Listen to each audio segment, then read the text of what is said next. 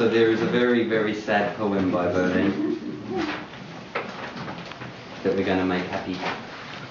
C'est. Ça parle du temps qui passe. Voilà.